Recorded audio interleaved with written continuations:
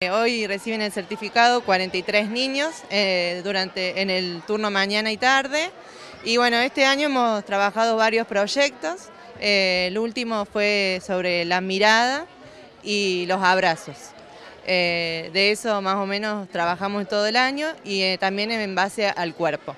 ¿Cómo ha sido el trato con las demás señoritas, las demás salas en los proyectos compartidos? No, todo muy bien. Hemos compartido eh, proyectos con la seño Claudia de música, con la teacher de Marina, con todas hemos compartido y hemos todo muy bien. ¿Tienen el acompañamiento de las familias en cada una de las actividades? Sí, sí, gracias a ellos podemos estar, eh, podemos, recibimos mucho apoyo y bueno, todas las veces que los necesitamos, ahí están ellos. Eh, hoy es un día muy especial porque estamos despidiendo un nuevo grupo de egresados del Rosarito Vera. Eh, bueno, en mi caso ya hace varios años, así que un año más cargado de emociones porque eh, sin lugar a dudas uno se encariña mucho con los chicos y, bueno, y con la suma de esfuerzo uno puede ver todos los logros que, se van adquiriendo.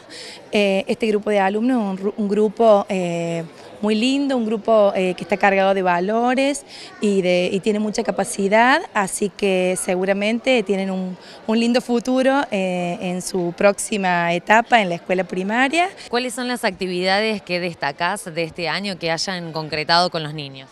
Eh, bueno, se han hecho muchos proyectos, hemos trabajado en base a, bueno, hemos trabajado Frida Kahlo, hemos trabajado un proyecto sobre el derecho a la salud, nos hemos centrado mucho y hemos tenido en cuenta como eje eh, el tema de los derechos del niño, eh, hemos trabajado la alimentación saludable y lo hemos podido implementar en el jardín, eh, creando buenos hábitos alimenticios.